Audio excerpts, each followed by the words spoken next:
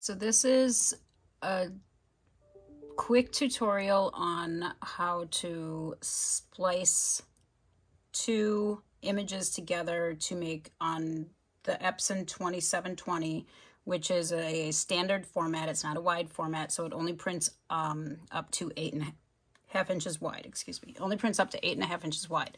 You can do the eight and a half by 11 or eight and a half by 14 if you're using the um, individual papers, or you can also use the sublimation rolls, which are eight and a half by 47 inches long. I designed this in Cricut Design Space. There's two different ways you can get this out of Design Space. You can either do using a snippet tool, and you can just simply grab it and grab a screenshot of it. Basically, that's all you're doing, just like that. The other way is you can reduce it down to the size that Cricut allows you to print, which is 6.75 by 9.25. Those, both your height and your width, have to be under that number. So what I'm going to do then is adjust the width to 6.75. And now we are good to go. So what I'm going to do is go ahead and make it and I'm going to print, but I'm not going to print a physical copy. What I'm going to do is do this drop down and print to a PDF. Turn your bleed off. Don't forget to do that. So when you print to the PDF, it's basically saving that as a, a PDF file, but you can use that as an image.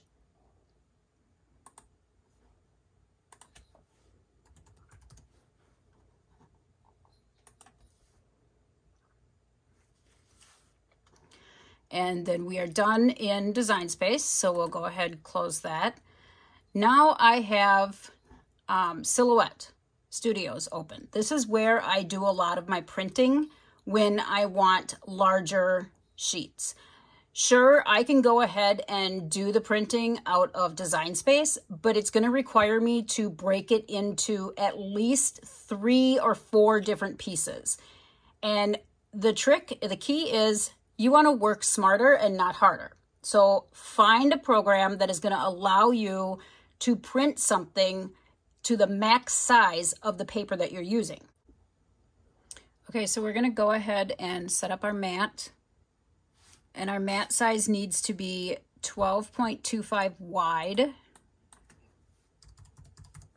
by 16.5 tall. That's basically the final image is going to be this size. You can see this little line. Let me try to zoom in here. You can see this line that's coming right here. This is your print border. Because we have print border selected over here, it's showing us what the where the paper is going to fall, where the paper is going to be in our design. So let's go ahead and load our design.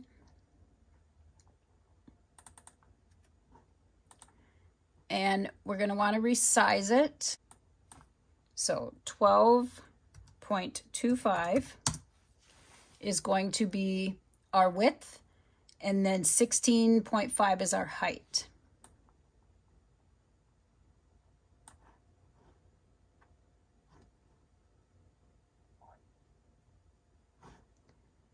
So let's go into our page setup. And we want to change this to landscape because you can see that our line has now changed to go outside of that.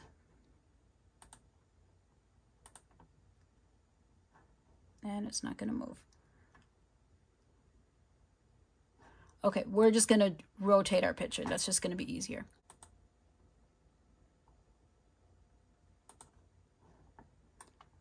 And we're going to bring half of it, you can see that if we put the bottom half to where it lines up with our print border, we have just above her nose, the bridge of her nose is where it's falling. And you got to remember that the 2720 does not print borderless, so it's going to pull back just a little bit on that. Then if we bring our design this way to confirm where this side's going to be, it's going to be, and I can't get that to be perfect, so it's going to be just at the above the tip. So we have a little bit of space right here, but it's not enough to give me uh, comfort of making sure that that connects. So I'm actually going to drop my size down just a little bit.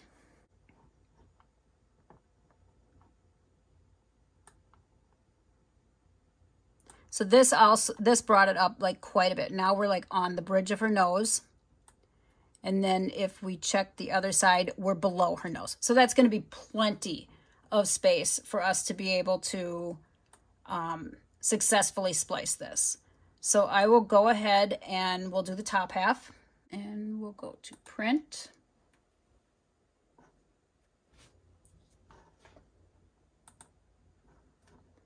And then we want to open up our preferences. And I'm going to select one of my profiles that I have saved already. This one is Mirror Sub 8.5 by 14 Premium Matte Setting. And it's, its setting to orientation is going to print on portrait, which is what we want. And then I'll go ahead and print. Okay, now we're going to print our bottom half. So we'll just grab our design and we're going to move it over so it falls just above the other side of our print border. And then we'll hit print.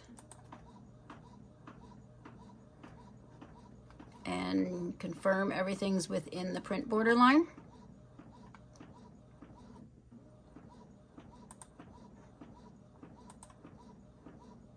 Select our saved profile again and okay and print. So for this design, we need it to be 12 inches wide by 13 inches tall. So we'll go ahead and 12 inches wide by 13 inches tall. And we're going to change our page setup to print portrait again. Actually, we'll do landscape on this one.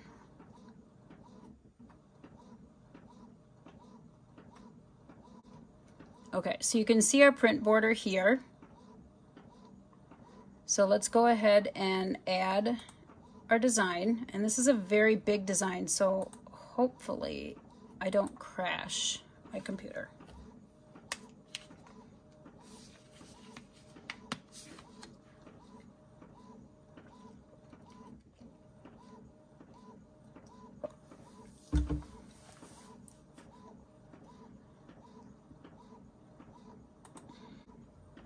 Okay, got it resized. I had to find it because it saved it way down in the bottom corner.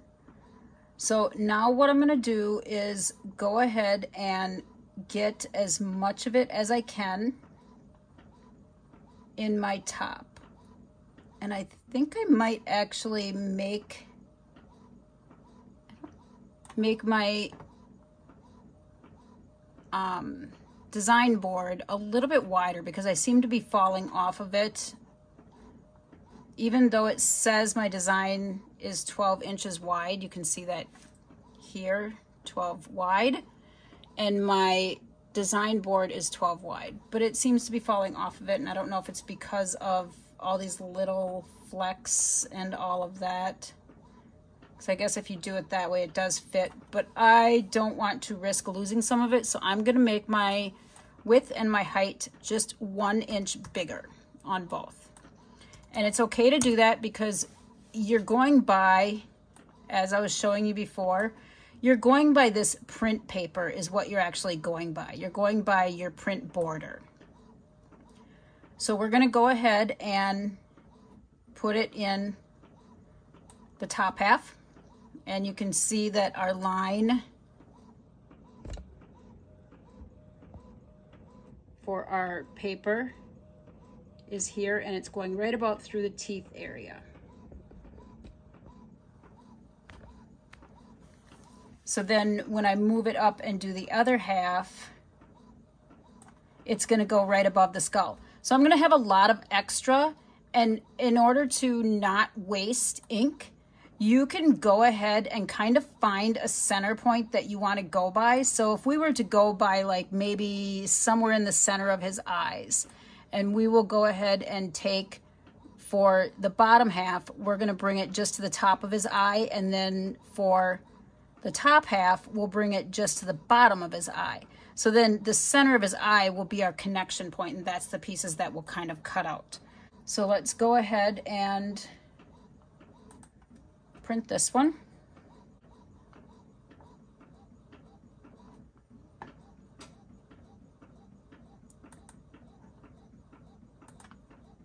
And we want to make sure that our orientation is on landscape.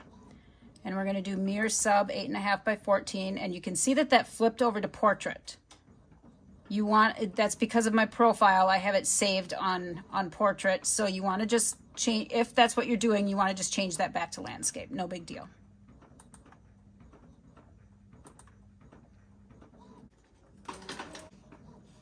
Then I'm going to move up and grab, as we said, we were going to put it, the bottom half was at the bottom of his eye. So now the top half, or I'm sorry, the top half was at the bottom of his eye. The top, the bottom half we want to put at the top of his eye.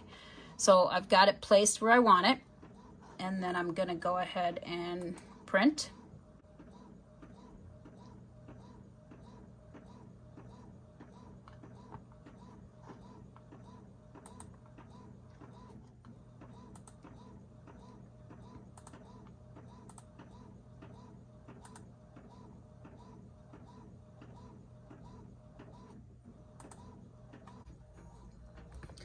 Okay, so we have our design, both sheets printed.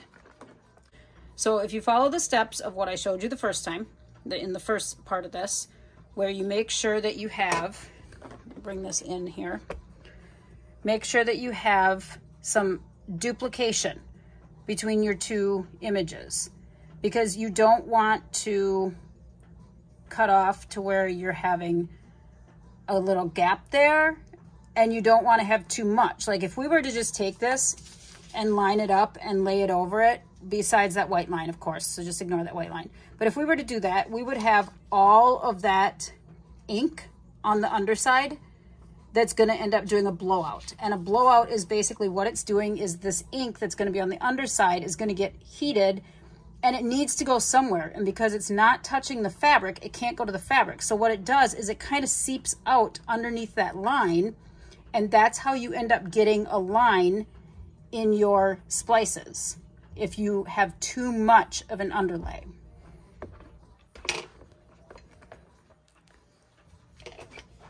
So what I'm gonna do is go ahead and just cut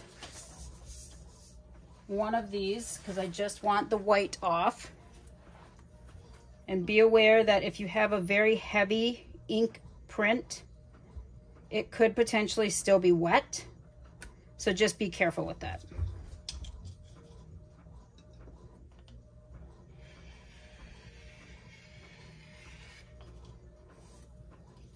And you can use a paper cutter, like one of these, but make sure if you're using one of these that you have one that actually has a blade in it and not not like a um like a little plastic piece that kind of cuts it. Some of those cheaper ones, it's not really a true blade and it can leave rigid areas, rigid spots. That's why I like using a rolling cutter for splicing. So then what you're gonna do is now that you have one of your white lined pieces cut off, you basically are going to find where your connection point is. So you're going to kind of look throughout your image. Let me see if I can zoom in so you can see exactly what I'm doing here.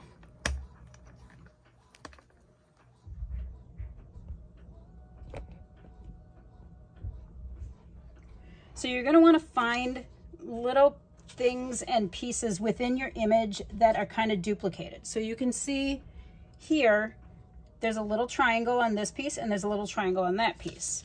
So if I bring this down far enough, I know that, okay, there's my set point right there. And you can kind of do the same on this side. Find some things that are similar and just kind of line them up. So there's our lined up image. I am going to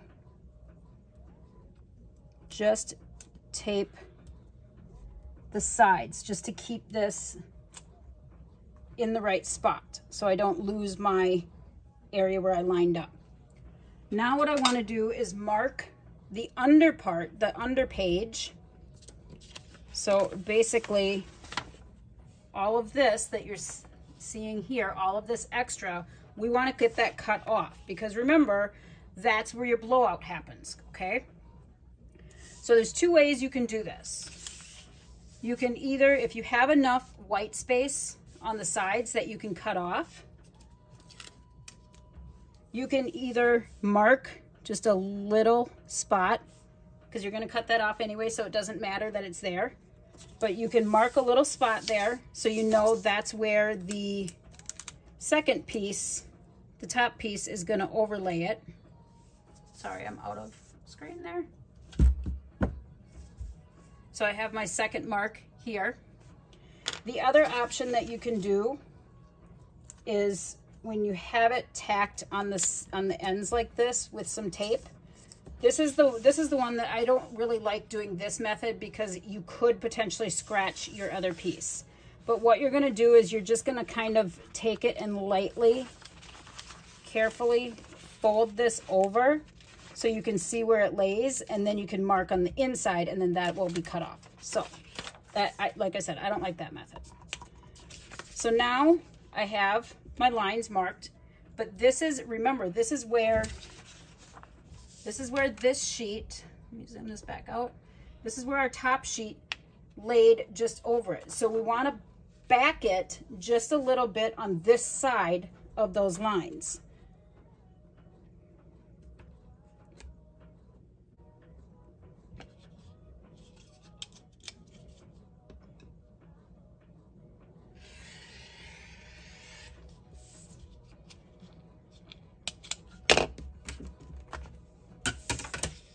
So you can see that I have just a little bit of where the line, where the top paper will sit on top of it or over it. So now, yes, you have to reline that up again, but you kind of have those little lines there as, as a key point, so it helps.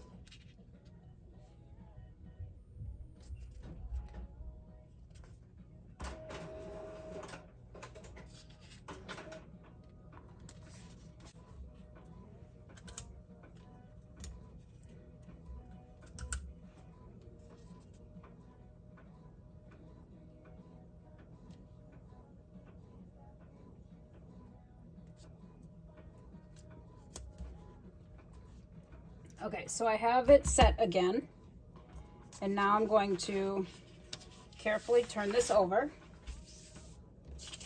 And we're gonna tape the back side of this.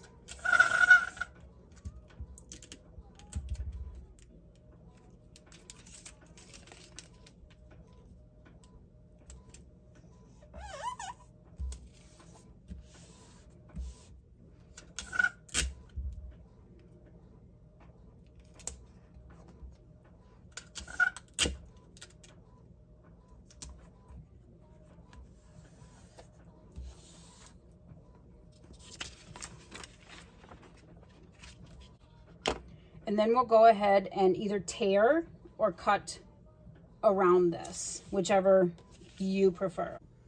Okay, so while the heat press is heating up, I can go ahead and do this one so that way you can see a second process of lining up.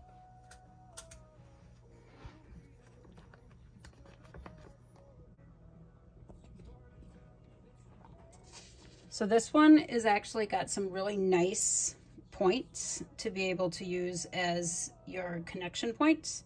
We have that little triangle dip there in the nose and then the top one and then some of the leopard prints. They're really good for identifying your match spots.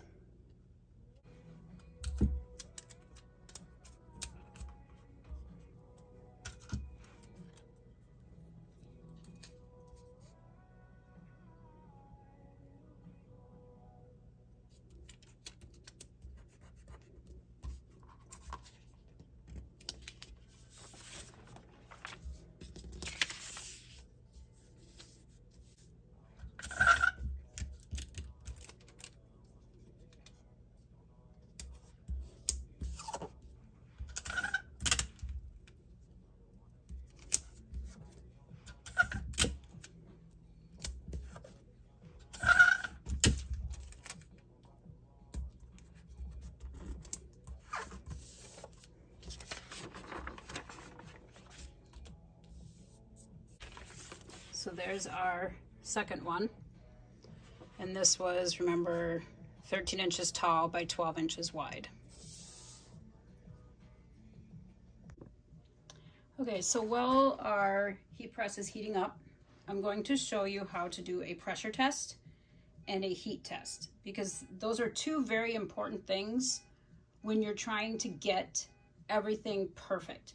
A lot of people will post questions of why do I have these imprint lines? Why is my image not bright enough? It feels like not enough of the ink pushed over. A lot of times it's because your pressure was not enough or your pressure was too much. And then when it comes to the heat, a lot of people will over process or overheat their garment or else not put enough heat in it because they're trusting that the actual heat press is heating to what you're setting it at. My heat press runs hot. So I know that I have to set it lower. If I want it to be at 400, I have to set it at about 385 or so in order to get a true 400. And I'll show you how to do both of these. So we'll start with the paper pressure test to be able to get your, your pressure good. So you're just basically taking a standard sheet, like a normal piece of paper, and you're gonna tear it in half, the lengthwise. And you're gonna set it right here in your front. Drop down your plate, and see, I can pull this out. That means that my pressure is not enough. You want to be able to not be able to pull that out. So I'm gonna tighten it a little bit. Drop it down again.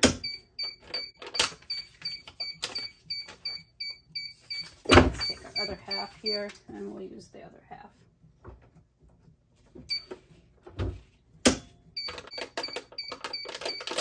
So there I felt a little bit of budging. So that actually is the spot where I'm gonna leave. And you also, if you want to really test good pressure, you can do all four corners as well A little scrap that we have there. And you just kind of want to test the same thing to make sure that all four corners are good with pressure as well. Okay, so our pressure is good. And that's usually where you can leave your pressure. You can mark it if you want to with a marker or something so you know that that's the spot where you need to come back to or else you just leave it there and if you're doing thicker garments you can back it up a little bit you don't really need to tighten it for thinner garments because that's a piece of paper that we just did. So your pressure is, that's your base. Basically, you can look at it as that's your base. Okay, so for our heat test, this is the heat gun that I have. It is a thermal heat gun. And what it does is you basically are just shooting it at something, you're aiming it at something. You can see the red dots that show up on on the mat there, that's what I'm aiming it at. And you can see that that is 145 degrees. Like my butcher paper over there, 83, 88. And yep, you can even do, I am 90 degrees right now. The heat press is set right now for 368. It's the temp is 368. I have it set for 385, so we still haven't hit our set our temp. But it's 368 is what the heat press is showing. So if I check my heat press, you can see that it actually is 373 in that corner, 365, 370 in that corner. My center is 380, 385.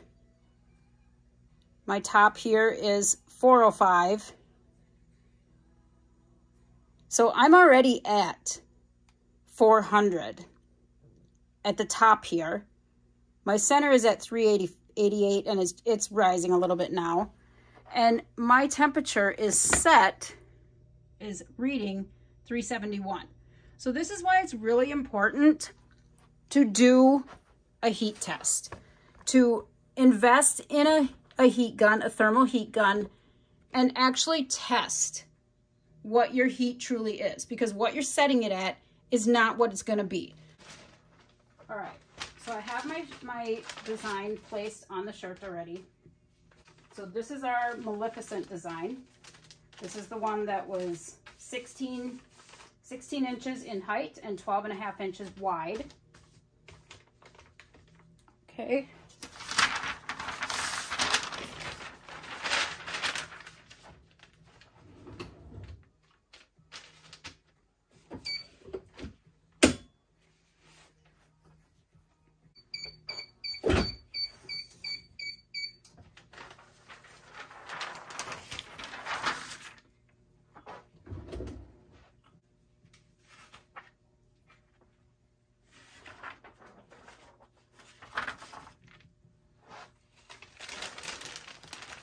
So here's here's the 16 by 12 20.25 print. And this is the 13 by 12 so it was 13 tall and 12 wide